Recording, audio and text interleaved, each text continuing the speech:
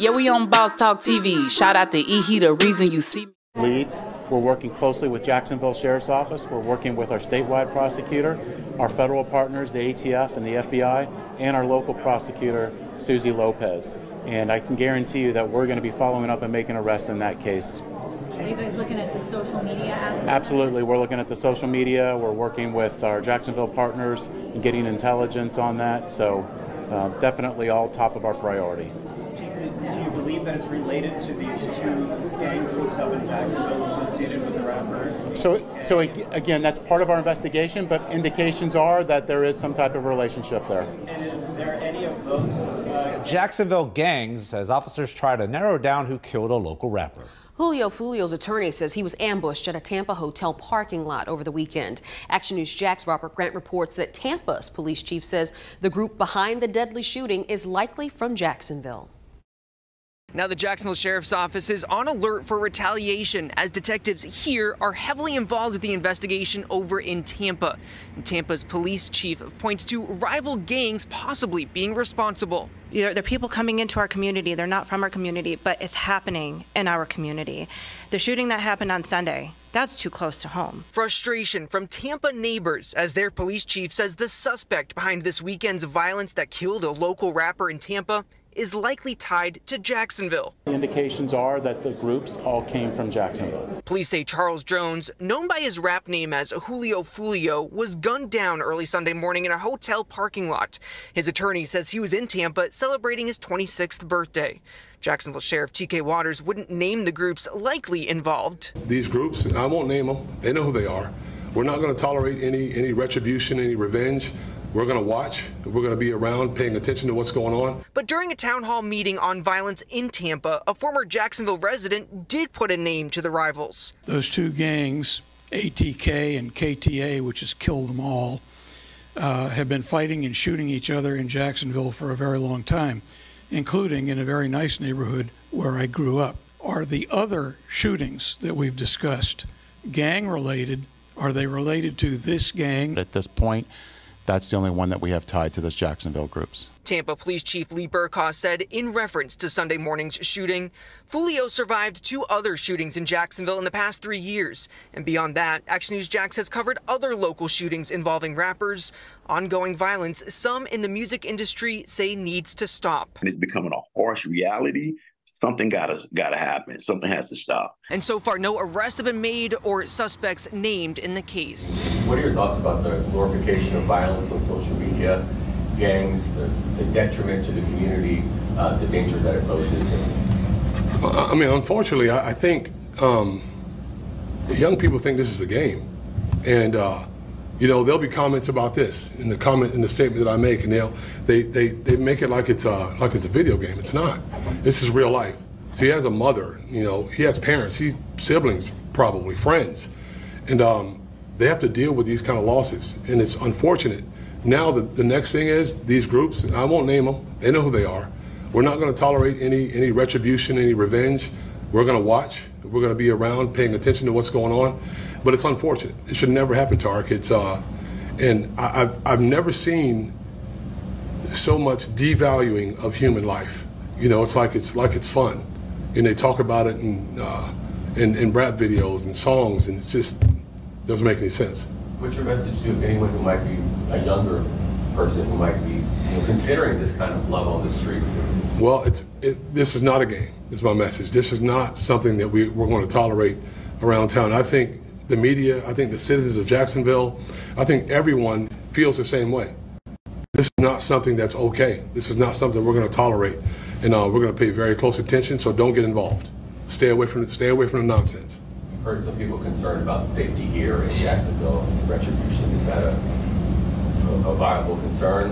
What is our police doing? Um, so I can tell you that I've made uh, uh, several phone calls and discussions with the undersheriff and staff members about paying very close attention to certain groups that I know are are clashing with one another. They know who they are, um, and even though I said what I said, my bro, me and J. Breeze supposed to be doing a Stop the Violence song. Wow, man, this is crazy, man. Yo, it's crazy. These young folks out here, man, is they wilding. Uh, Foolio's uh, he's dead, and it's crazy to me that you know people are really you know you know they're trying to figure this out down there in in, in Florida, and they, and I like the way they're coming together, but it's like man, you hate to see these youngsters leaving here like that, man. Uh, Foolio's family, man, my condolences, man. Um, any of those guys down there banging, man, we gotta, we gotta, we gotta stop. You know, you guys, man. Like I said, you see the sense of urgency these guys, the the, the police department, and they're guaranteeing. When you start guaranteeing you going to arrest some people, they're fed up, man. Citizens are speaking out. They even know that you got older guys, old men, white guys uh, that they looking at this and they even know the names of the gangs. Uh, you got the police, uh, the FBI, all of these different people coming in. The resources are there.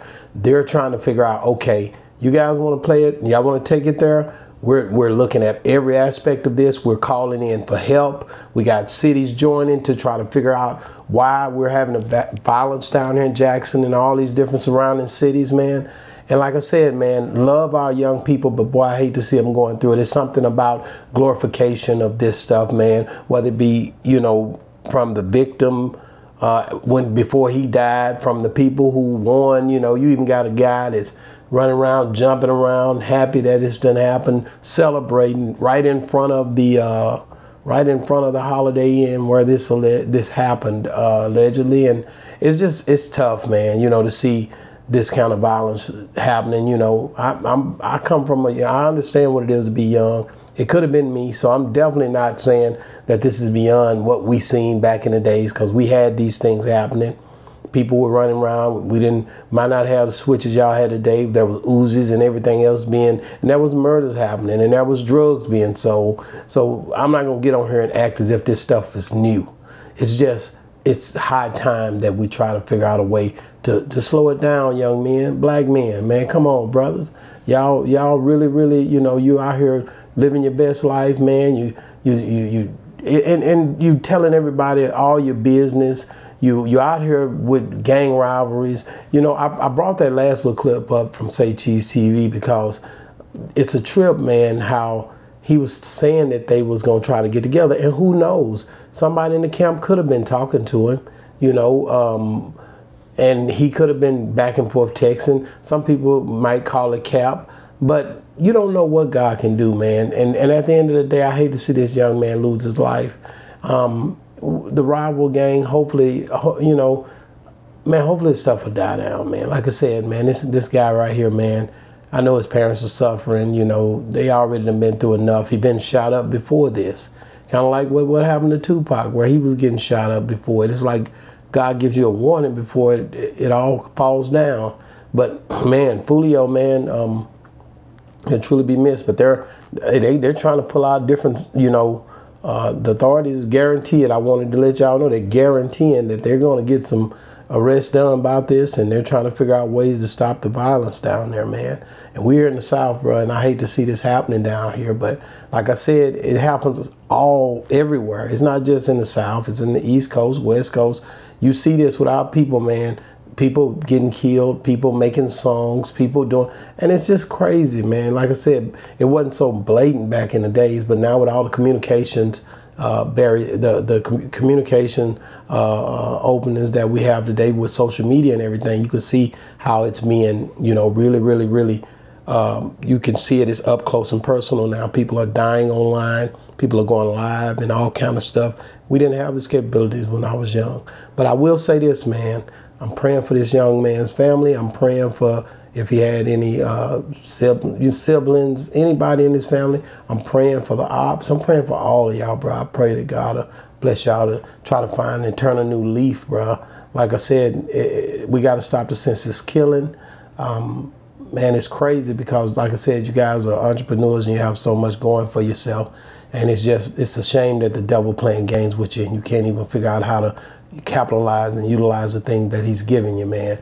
Boss Talk 101, man. Listen, man, make sure you guys get in the comments. Let us know what you think about Foolio, about this guaranteed uh, arrest that these uh, officers are, are guaranteeing, and I, I can believe it because they're looking at social media, and heck, anybody can figure it out. Academics even figure it out. Anybody figures it out, and it's, it's a shame, man, that that we're out here thinking we can get away with stuff like this and really, really putting our lives on the line and just don't care, and, and we should care more.